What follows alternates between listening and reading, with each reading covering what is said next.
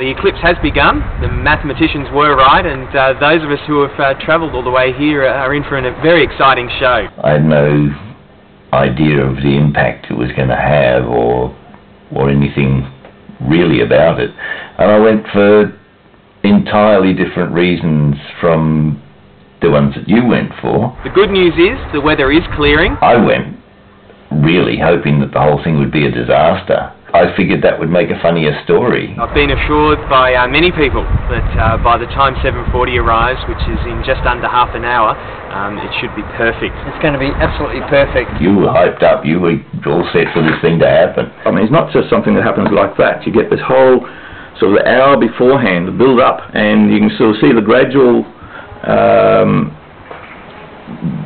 disappearance of the of the sun, the, the way it's gradually eaten away. It's been eaten by the dragon. We wondered if the clouds were going to break in time to see the eclipse. Basically, the start of the eclipse was this sort of peekaboo with the with the clouds. Just under 12 minutes to totality.